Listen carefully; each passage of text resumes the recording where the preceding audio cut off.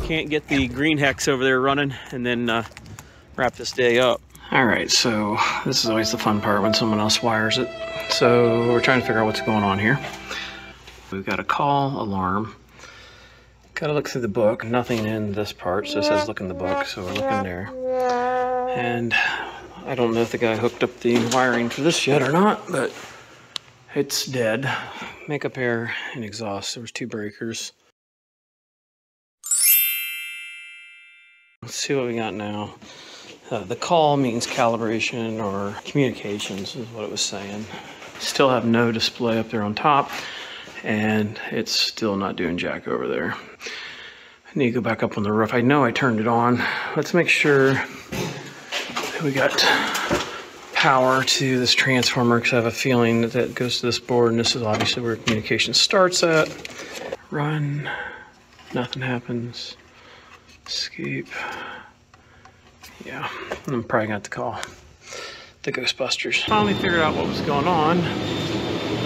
Power's turned off because it said leave it off. That's because he's got this stuff all set up. So you're supposed to be able to start it up. And they've got all this other crap disconnected, which really makes it difficult. All right, so we got rid of the fire alarm. This was not put together. It's a normally closed circuit, I believe, and it opens when it does its thing. So we just put a jumper in there because the fire people have to do their job, the balancers have to do their thing. This thing, what a treat. So the sensor's right there, and I took it apart up there and checked the resistance on it, and I had about a thousand ohms. I gotta see if I can find a chart that tells me what the resistance uh, equivalence is to temperature, but here's the hooked up right. And found in the book here that uh, should be hooked underneath the terminals that it's hooked in. So. You program the system through that right there. I've not done this particular controller, but we're getting into it here. Looks like I've gotten into the spot, but that damn temperature's all over the place. Not the most accurate thing I've ever seen in my life, but no reason for it to run. Like I said, first time ever working on, well, first time programming it. So I went in there and told it only had one sensor. That sensor seemed to be right. I think that second sensor, since it thought there was two, I went in there and told it only had one. Would not reset on its own, so I kill power, brought it back on, immediately starts working like it should. Everything was fine. So I turned on the fans and we took it to 30 hertz. So it's more noticeably normal. Let's go up and see if we get the gas running now. All the uh, settings as far as fan speeds, all that stuff, fire, all that's got to be done by the, you know, the people that are certified for that, but we just got to make sure it runs for them. We're in here, just checked gas. It was obviously off, so we got it on. Blooded at the union. You can smell it coming through. Uh, because that was off, I think it may have locked out. I couldn't see anything blinking on my light there, which I still don't see anything doing anything there. Yeah. I don't know if they got maybe something down there you gotta turn on for the heat because you got that there, I wonder. So what I ended up doing was telling it to stop running, wanted to see if it would make a difference. So I jumped R to W1 the way this is going to work and all the other ones I've ever seen, basically down below it tells it when this thing needs to run. You have the heating inlet air here. Anything, uh, anytime it gets below 60 degrees or whatever it is I decide to set it at, it will allow the heat to run as long as the fans are running. The fans downstairs were told to stop, so it stopped this unit. With me jumpering it, it's going to have its call for heat here. I didn't see anything downstairs. Um, you know, reading through the book real quick, it showed that, you know, you needed to run it to it. So we're going to do that because they're going to shut it down at nighttime. Uh, the controls down there is going to stop the heat. And then as it gets warmer and the outdoor temperature comes up, it won't uh, try to run. We can even put it at 65. That might be the better spot for it. I've had people complain. Uh, you know, I've heard 50, 55. So we're going to leave it like that. And then this here is going to adjust our temperature of our discharge air, which usually I like to just try to make it break even with whatever the room temperature is. Let's go down there and turn this fans on, see if this thing calls for heat now. Okay, so at least now we are calling. We have a low pressure switch that's open, which means we have to adjust our pressure differential So we got to adjust our plates. I got to go grab my manometer and get this adjusted so that we have the uh, 0.7 inches, I think is what they were asking for, point, uh, between 0.6 and 0.7 for natural gas. Yeah, good. We can get to the baffle plates here. Taking a look at our meter, we're at 0.16. We need 0.6 to 0.7. Obviously, we got to close these plates down or increase airflow. So yeah, we're not going to increase airflow because we're at 42. We're at 30 down below, so we're obviously a little bit faster than the other. And depending on how they size this thing, yeah, uh, we're going to go ahead and get this thing tuned in, and then we'll see what happens when those guys dink with that exhaust hoods because we're going to cram in what kind of scheme standard here. So let's get this thing opened up here. Well, it gives me a chance to try out my new Klein uh, flip bit here. I got the one just for the impact only. I didn't get the handle because I already had another handle. You just flip these things around and they slide off the end. You got a magnetic chuck on the end and you got your 3 8 11 30 seconds, 7 16 half inch, quarter inch, 5 16 and the quarter inch will actually hold um, little bits. So we've got that pulled out of there. Let's see if we can get in here. So there's our baffle plates. And Looks to me like we're going to need to change these ones. Wow, those are looser than a goose. Yeah, that's quite interesting. These are different than what I've seen in the past. Definitely weird. So I've got the gas turned off. Uh, that's shut. That one back here is open. You see the nice fan. I think what we're going to do is we're going to turn it off for safety. Don't want to accidentally fall into that fan blade. It probably cause some problems. There we go. So we've got them uh, close together as you can. So we increased it evenly like they're saying. About a finger and a half there and a finger and a half there. Let's see what our pressure drop is now. It's only slightly better at 0.2. Uh, not real impressive. Bottom ones are differential. See that we need to speed this turkey up. I don't know if we can really move them together much more, so we're gonna probably have to speed this thing up which of course you can't just hit up and down. You got to enter a special sequence of some sort. Oh, let's do a little reading here, see what we find out. RTFM. All right, so I got looking in here, and there's dampers all in here, all the way across, and every single one of them was shut. You would think somebody would have left those open. So we're back a different day here, and that little damper's right there. So I opened all of them up. I'm gonna go back upstairs now up on the roof and see how bad it is now. Well, according to this, we're 0.7. That's about where they wanted it at. 0.6 to 0.7. Don't see any blinky blinks. So who knows what's going on now. Now we go through here and check our pressure switches with our meter and see what else is going on. I turn it back to 43.33. Yeah. So escape out of there. I think that's about where it's at. And we're running out of 4.49. So it did make a little bit of a difference. So the question is, do we put it back to where they had it at or do we just increase it until we get it where they want it at, which I'm kind of feeling like we're just going to increase it to where we get it at because the baffle plates seem to be about where they need to be at. Let's go to 47. I did check the meter on the uh, pressure switches and they did show up fine there. There's 0.6, 0.62. They want 0.6 to 0.7. Let's go over to maybe 49 go 48. Kind of zero it out because these tend to drift. Try to keep them both in here. Really glad I got that gray crap all over. Zero. This was acting really dumb the other day. There we go. 0.6, 0.65, 0.7. I'm gonna leave it there. See how it goes, because this guy's from the uh, balance in place probably gonna screw with my stuff, and it'll probably need readjusted anyway. All right, let's start narrowing it down, see where we're missing our our voltage at, where it's not getting to. Go ahead put this stuff back up. Okay, so we're making progress. Now, most every system I've ever seen, especially some of these where they've been ordered for the job, Um, usually if you're running 208, 230 volt, you run it for the higher voltage. Well, this one was wired for 208, so either they were told to do that or the factory screwed up. So I already corrected this transformer yesterday and set it up for two, uh, two, uh, 240 volt. And there's another transformer here. I had to correct that one. That one here powers the spark ignition module. This one here powers, it powers the damper, uh, supply fan relay, and some miscellaneous is there. Then the other one controls, does the control panel from what I'm seeing here. Yeah. Then you have an isolation transformer for the Maxitrol there. And that one's 24 in, 24 out, so I'm thinking they're just isolating it for noise. Um, because I got a little higher voltage than what I thought, about 29 on it.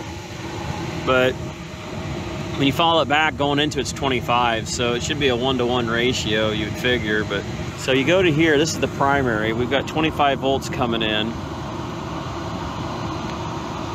And then you come over here to the secondary. Come on, let go. Let go.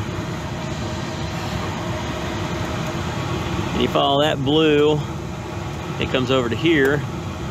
And you follow the yellow, which comes to here.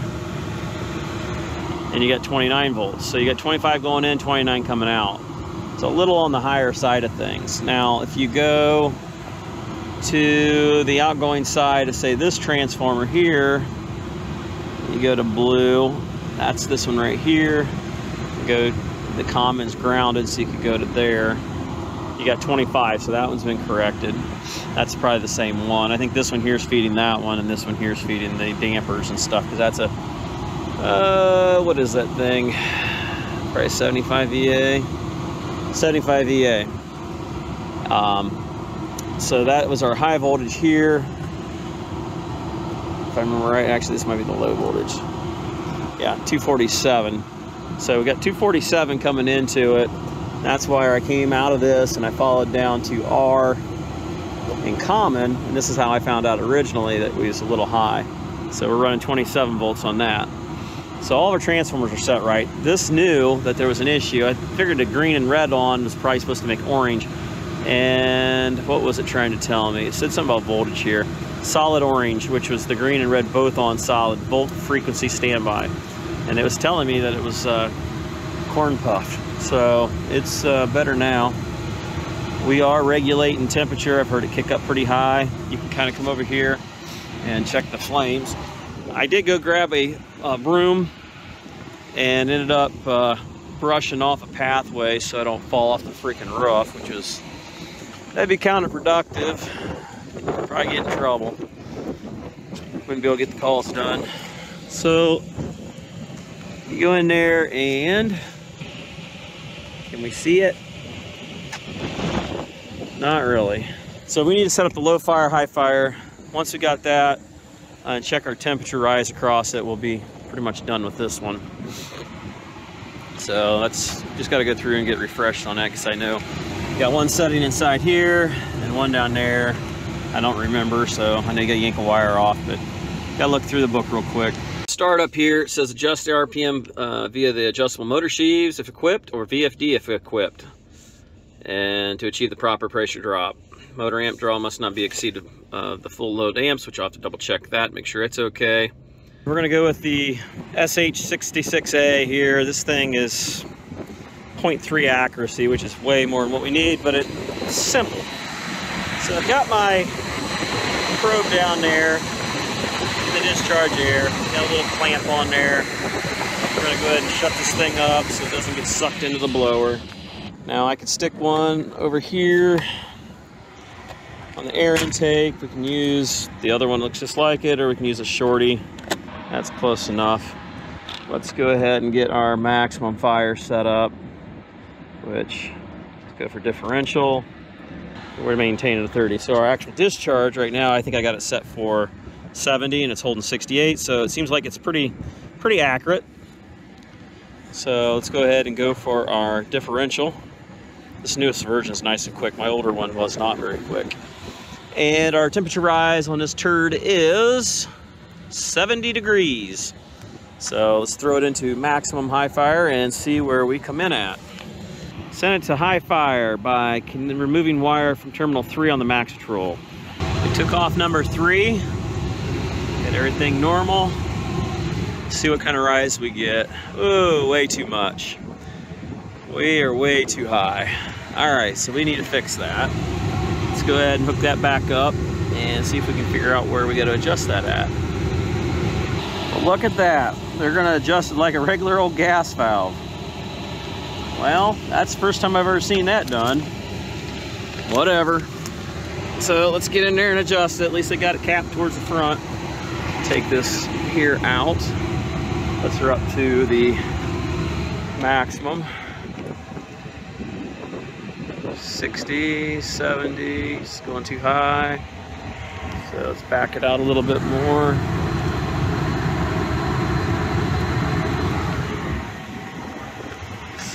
Still too high. That is 70, right? Yep, 70.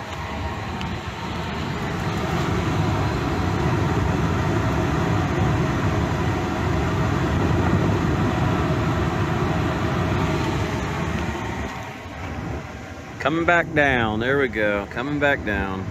Slowly, slowly. Yeah, let's speed this up a little bit. Turn off that main. Speed her up. Pulling that good old, what do we got? Air coming in. Coming in at 28 degrees. We're set at 68-ish. Might give it a little squishy squish more to get it back to the perfect zone. I mean, this thing is almost completely backed out. We'll give it a little quarter turn there, see if that brings it up. Yeah, see, just a quarter turn, man. It just close enough for government work. I'm assuming, you know, we have 70 or we have a zero degree day. You got 70 degree rise, you can 70 degree out of it. There we go. That's pretty good. That's at max fire.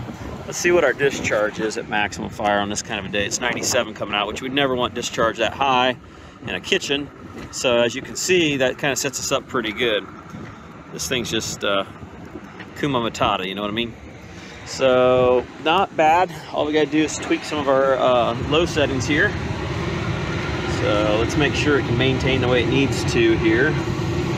Just back on that one there.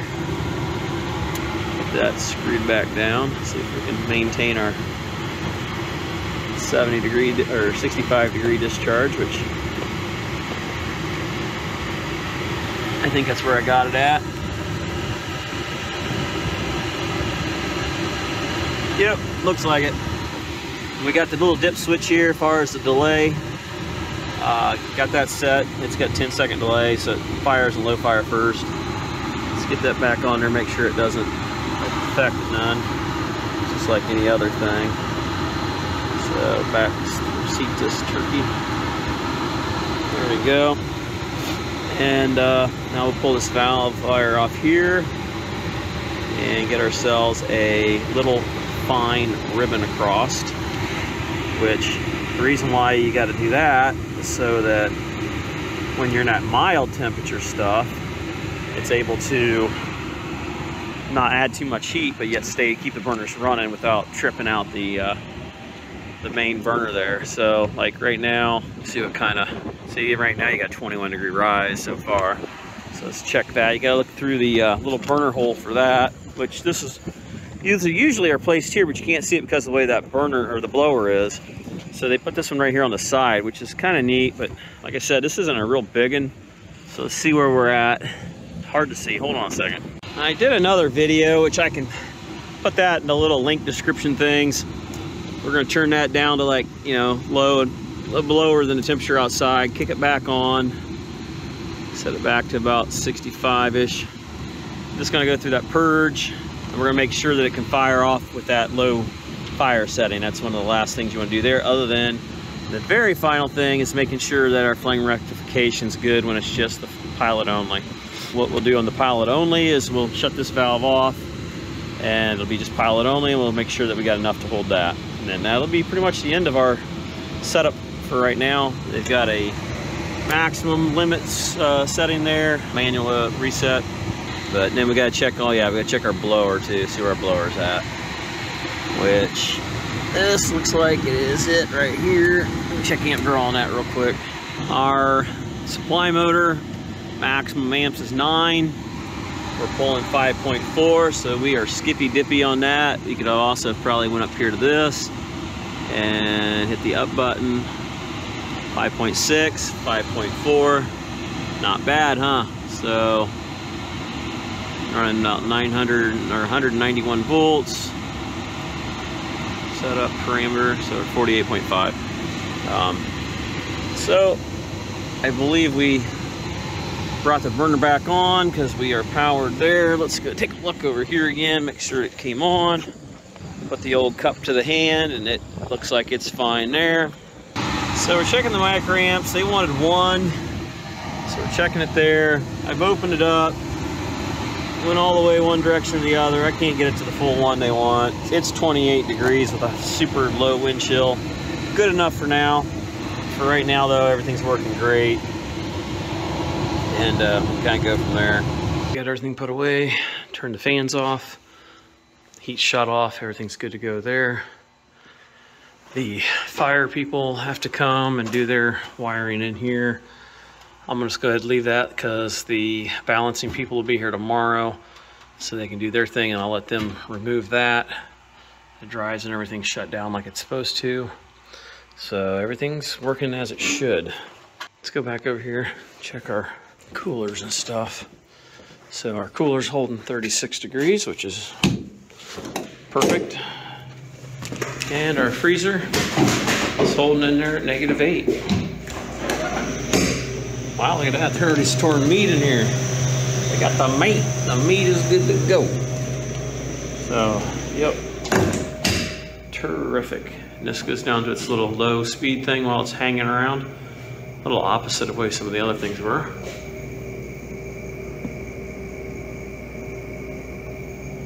Not quite what I'm reading over there, but whatever. Coil's not froze up, which is terrific. Let's see what, uh, we got any frost buildup on this coil here. Not really, nothing unacceptable. Seems to be holding pretty good there.